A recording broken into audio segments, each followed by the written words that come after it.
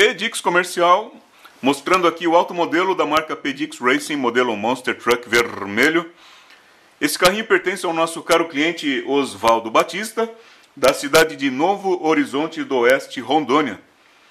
É, na verdade, estamos fornecendo aqui o item B7058 em substituição, é, troca. O nosso cliente vai ter que instalar esse kit e o carrinho deverá funcionar normalmente.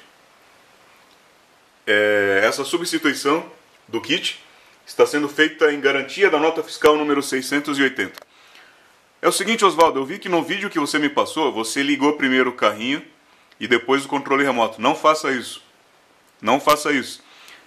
É, dá uma lida novamente nas instruções que eu passei para você na época quando eu te mandei o automodelo junto com a nota fiscal pelo correio. Eu te passei um e-mail com instruções detalhadas sobre como manusear o automodelo. Uma das coisas importantíssimas que não se deve fazer não ligue o carrinho e depois o controle remoto. É, é o contrário. Primeiro o controle remoto, depois você liga o interruptor que aciona o automodelo.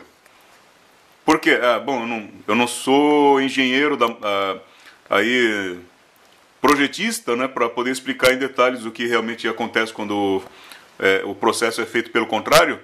Mas enfim, já que a fábrica está dando instruções para que faça da forma indicada, é, tem que ser feito. Então, primeiro o controle remoto, depois o botãozinho ali, o interruptor do, do automodelo. Porque dessa forma você vai evitar causar algum dano no, na parte elétrica, no circuito, na placa do ou no receptor do carrinho. Então, repetindo, para ser mais enfático, é, ligue primeiro o controle remoto, depois o interruptor que aciona a parte elétrica do automodelo. Sempre proceda dessa forma. Então estou mandando aqui para você o kit. Você vai precisar tirar o kit que está instalado no carrinho, que está danificado, e colocar esse kit novo. Vai dar um pouquinho de mão de obra, mas vai ficar, o problema vai ficar resolvido. Na questão da bateria que você me mandou, não tem problema nenhum. A bateria normal tá boa, pode usar normalmente.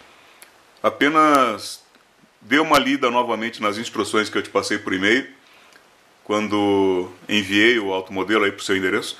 Dá uma lida nas instruções e siga a risca tudo que foi passado, beleza? Um grande abraço.